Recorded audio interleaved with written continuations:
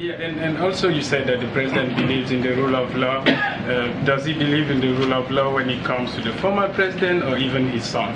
I'm not going to. Uh, I'm not going to comment anymore on on both of the topics that you just mentioned. The Department of Justice uh, is independent with their criminal investigation. The president has been very clear on that, and we. I would refer you to Department of Justice on those those two topics that you just brought up.